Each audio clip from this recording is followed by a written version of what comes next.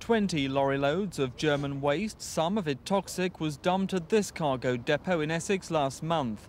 It was brought here by a cargo handling firm disguised as goods. It didn't have proper documents breaking European community rules.